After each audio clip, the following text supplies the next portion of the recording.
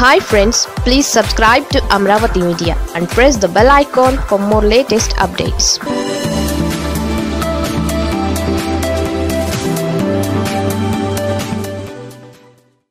ఏపీలో బీజేపీ త్రిముఖ వ్యూహం. చివరికి బలయ్యేది టీడీపీనే. ఏపీ రాజకీయాల విషయంలో చూడబోతే బీజేపీ చాలా సీరియస్గానే ఉంది అంటున్నారు. ఏపీలో ఏముంది అని వదిలేయడం లేదు. ఏపీ నుంచే బీజేపీ అధికార సూర్యోదయాన్ని కమలం పార్టీ చూస్తోంది అని చెబుతున్నారు. అదెలా అంటే ఏపీలో రెండు బలమైన పార్టీలను దశల వారీగా నిర్వీర్యం చేయడం తమకు మిత్రుడిగా ఉన్న మూడవ ప్రాంతీయ పార్టీని బలోపేతం చేయడం తాము అన్నింటికన్నా బలంగా మారడం ఐదేళ్ళు గిరిన తిరిగేసరికి కుర్చీని పట్టేసి ఏపీని సుదీర్ఘకాలం ఏలడం.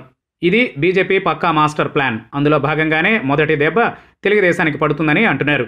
అందుకే జనసేనను తమ వైపునకు తిప్పుకుంటోంది. ఎట్టి పరిస్థితుల్లో టీడీపీకి జనసేన సాయం చేరాదు. మరోసారి ఆ పార్టీ అధికారానికి ఊపిరిలు ఓదరాదు ఇక గేమ్ ప్లాన్లో జనసేనను బీజేపీ శక్తి కొలది బలోపేతం చేస్తుంది. తాను కూడా పటిష్టంగా తయారవుతుంది.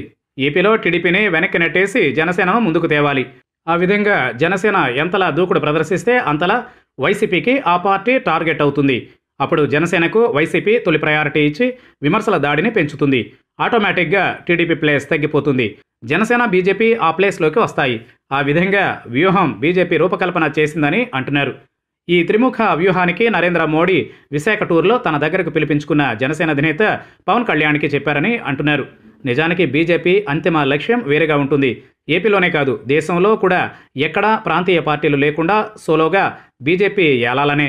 దానికి ముందుగా ఒక్కో ప్రాంతీయ పార్టీని ఎలిమినేట్ చేయాలని చూస్తోంది. ఆ విధంగా చూస్తే ఏపీలో ఇప్పుడు తెలుగుదేశం పార్టీ బీజేపీకి బాగా చిక్కింది. నిజానికి నరేంద్ర మోడీ అమిత్ షాలకు చంద్రబాబు మీద కోపం. ఆయన అన్నేసి రకాలుగా అనుచితమైన మాటలు తమను అన్నారని ద్వేషం. అందుకే టీడీపీతో జట్టు కట్టడం లేదని చాలామంది అంటున్నారు. కానీ అది వాస్తవం కాదు. రాజకీయాలలో శత్రువులు మిత్రులు శాశ్వతంగా ఉండరు. ఆ విధంగా చూస్తే ఇవన్నీ డక్కా మొక్కేలెత్తిన బీజేపీకి తెలియదా? కానీ ఆ పార్టీ ఏపీలో తన రాజకీయ అవకాశాలను పెంచుకోవాలని చూస్తోంది. రెండు వేల పద్నాలుగు నుంచే ఆ ప్రయత్నాల్లో ఉంది. దాని ఫలితమే టీడీపీతో తప్పనిసరి పరిస్థితులలో దోస్తీ చేసిన రెండు వేల పంతొమ్మిది నాటికి వైసీపీకి ఊతమిచ్చి ఆ పార్టీని సైడ్ చేసి పారేసింది. మరి ఆనాడు ఒక వ్యూహం ప్రకారమే టీడీపీని ఓడించిన బీజేపీ రెండు వేల ఇరవై నాలుగు ఎన్నికల ముందు భుజం కాసి గెలిపిస్తుంది. మరిన్ని దశాబ్దాలు ఏపీని టీడీపీ చేతిలో ఉండేలా చేస్తుంది అన్నది ఎవరైనా అనుకుంటే అది పూర్తిగా పొరపాటు ఆలోచన. అందుకే బీజేపీ ఒకసారి విపక్షంలోకి వచ్చిన టీడీపీని మరింత ఉనికిలో లేకుండా చేయాలని చూస్తోంది. TDP vote bank BJP vote bank ఒక్కటే. అందువల్ల టీడీపీ ఎంతలా పతనం అయితే అంతలా బీజేపీ బలపడుతుంది. దానికోసమే టీడీపీని రెండు వేల ఇరవై నాలుగు ఎన్నికలలో ఒంటరి చేయడానికి చూస్తోంది. ఇక టీడీపీ ఆర్థిక వనరుల మీద కూడా దెబ్బతీస్తుందని అంటున్నారు. ఇక జనసేనకు జవసత్వాలు కూడా అందిస్తుంది. ఆ విధంగా పవన్ గ్లామర్ బీజేపీ వ్యూహాలతో రెండు వేల ఇరవై నాలుగు నాటికి టీడీపీని నెట్టి ప్రధాన ప్రతిపక్షం సీట్లోకి ఆ రెండు పార్టీలు రావాలన్నది బీజేపీ పక్క ప్లాన్. ఆ మీదట ఓడిన టీడీపీ మరింతగా పతనం అవుతుంది. అప్పుడు అందులో ఉన్న వారంతా కూడా బీజేపీలోకి వచ్చి చేరతారు. జాతీయ స్థాయిలో బలమైన పార్టీ కాబట్టి బీజేపీకి ఆ అడ్వాంటేజ్ ఉంది. ఇక చంద్రబాబు ఇప్పటికే ఏడు పదుల వయసు దాటి ఉన్నారు. ఆయన కనుక రెండు వేల ఇరవై నాలుగు ఎన్నికలలో ఓడిపోతే పార్టీని పూర్తి సామర్థ్యంతో నడిపించలేరు. చంద్రబాబు తర్వాత అంతటి దీక్ష దక్షుడు కూడా టీడీపీలో ఎవరూ లేరు. దాంతో టీడీపీ ప్రాభవం గతం అవుతుందని అది తమకు ఉపకరిస్తుందని బీజేపీ ఆలోచన.